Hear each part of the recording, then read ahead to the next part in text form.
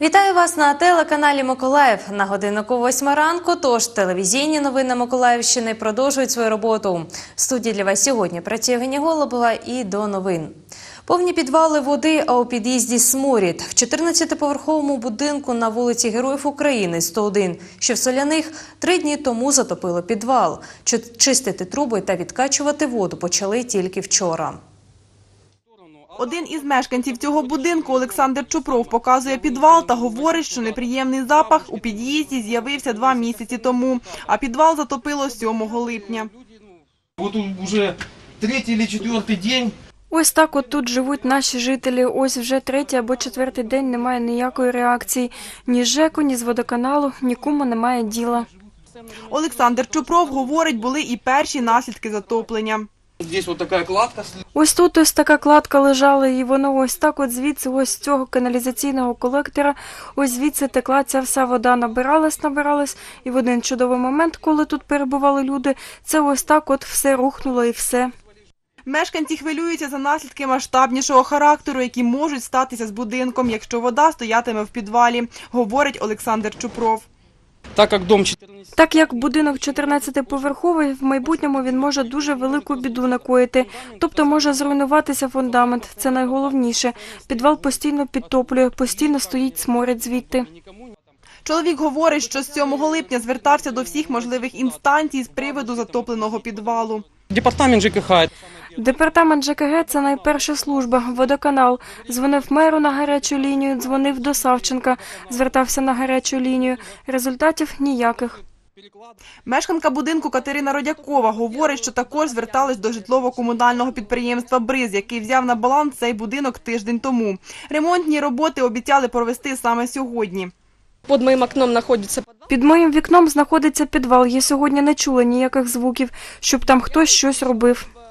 На першому поверсі будинку розташовані не тільки житлові квартири, а також магазин, банк та аптека. Тетяна Шакун, працівник аптеки, говорить, що також зверталась до різних інстанцій стосовно затопленого підвалу. Але ремонтні роботи так і не проводились і причину затоплення не кажуть. Да, одни говорят, что Одні кажуть, що гнилі труби треба міняти, інші кажуть, що там якась труба випадає. Тепер кажуть, що там через якусь стінку ця рідина тече. Сьогодні о 15.00 працівники аварійної служби Миколаївводоканал почали проводити ремонтні роботи. Ольга Морар, начальник житлового комунального підприємства «Бриз», говорить, щойно Миколаївводоканал проведе ремонтні роботи. Її співробітники почнуть викачувати воду з підвалів та перевіряти справність труб.